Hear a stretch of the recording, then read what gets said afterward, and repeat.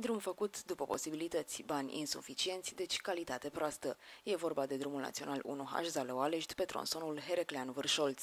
Nici măcar nu i s-a tăiat panglica că a început să se strice. Bucata de drum nu a fost consolidată corespunzător și în unele locuri pământul a început deja să se surpe. Cu drum cu tot. Și totuși constructorul bagă totul sub covor. Covorul de asfalt, pentru că peste drumul rupt pe alocuri se toarnă asfalt, fără să se facă lucrările de consolidare necesare.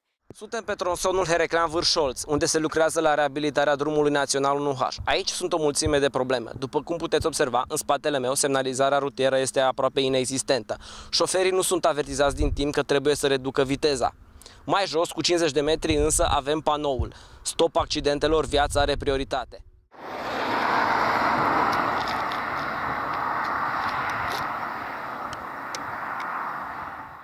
Constructorul s-a decis să respecte întru totul mesajul autorităților. Stop accidentelor, viața are prioritate. Și a găsit o nouă metodă inovatoare de semnalizare rutieră. Bolovanii amplasați pe marginea drumului. Reprezentanții firmei de consultanță pe acest proiect confirmă faptul că muncitorii vor aplica asfaltul fără ca drumul să fie consolidat în prealabil, iar de vină pentru situația creată este Bruxelul, spun ei, care nu a dat bani suficienți. Dacă nu se va obține acest lucru, va trebui să turnăm peste tot asfalt.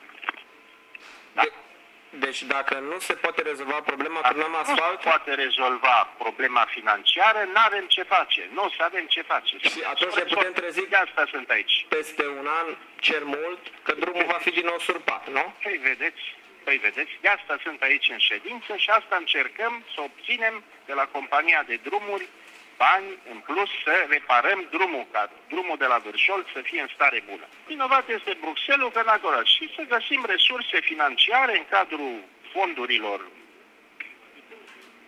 locale sau guvernamentale și să facem aceste lucrări. Deci constructorul va face practic o lucrare de mântuială, pentru că, evident, drumul nu va face față mașinilor de mare tonaj și peste scurt timp vom constata că, încă o dată, s-au aruncat milioane de euro pe apa sâmbetei.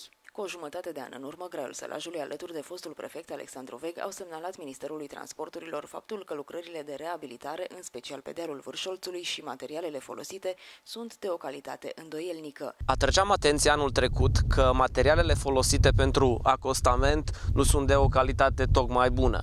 Dovadă nu a trecut un an de când Graiul Sălajului a sesizat autoritățile că reabilitarea drumului DN1H, Zalău și Mleu nu se desfășoară în condiții normale și puteți observa că tot acostamentul este surpat. Mai mult, în loc să refacă tot ce s-a surpat, au preferat să tragă un strat de asfalt. În iarnă, fostul șef al regionalei de drumuri și poduri Cluj, Ioan Pantelimon, dădea asigurări după o vizită în teren că alunecările de pământ vor fi oprite datorită lucrărilor făcute. Fals. Pe dealul Vârșolțului, pământul continuă să o ia la vale.